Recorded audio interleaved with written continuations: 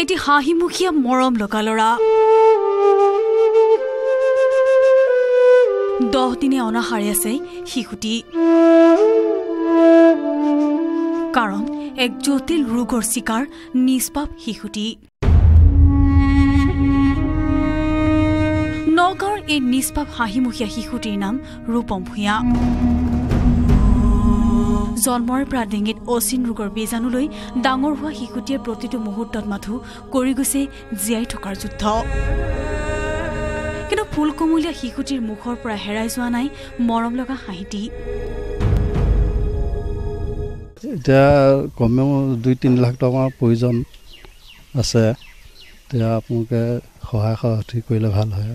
তাৰ কি হৈছে সি নিজেই নাজানে এটি হাঁহিমুখীয়া শিশু। আজি এসপ্তাহ দহ দিন ধৰি সি খাব পৰা নাই। অসমৰ সদাশয় লোকসকলে যিমান পাৰে অকণমান সহায় সহযোগিতা পাবৰ কাৰণে আপোনালোকক অনুৰোধ কৰিছোঁ। টনচিল বাঢ়ি যোৱাৰ ফলত বন্ধ হৈ পৰিছে শিশুটিৰ খাদ্যনলী। ফলত দহ দিনে খাদ্য গ্ৰহণ কৰিব পৰা নাই শিশুটিয়ে।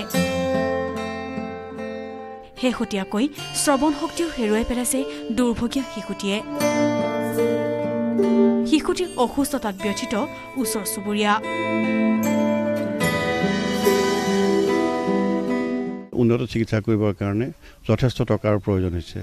দেউতাকৰ আৰ্থিক অৱস্থা উন্নত নহয় অতি দুখ লগা মই অসমবাসী ৰাইজলৈ অনুৰোধ জনাইছোঁ যাতে সকলোৱে সহায়ৰ হাত আগবঢ়ায়। সৰ্বস্ব ত্যাগ কৰি শিশুটিক সুস্থ কৰাৰ আপ্ৰাণ চেষ্টা অব্যাহত ৰাখিছে যদিও আৰ্থিক অভাৱত দিশহাৰা হৈ পৰিছে শিশুটিৰ দৰিদ্ৰ পিতৃ মাতৃ শিশুটিৰ পিতৃ মণ্টু ভূঞা সামগ্ৰী ৰাজচক্ৰ বিষয়া কাৰ্যালয়ৰ মাষ্টাৰ ৰোলৰ কৰ্মচাৰী। দুবছৰ ধৰি দৰমহাৰ নামত এটা ফুটা কৰিও লাভ কৰা নাই পৰিয়ালটোৱে। আনহাতে কোনো চৰকাৰী আঁচনিয়ে ঢুকি পোৱা নাই দৰিদ্ৰ পৰিয়ালটোক। বৃহস্পতিবাৰে গুৱাহাটীত দুটা জটিল অস্ত্ৰোপচাৰ কৰা হ'ব ৰোগীয়া শিশুটিৰ।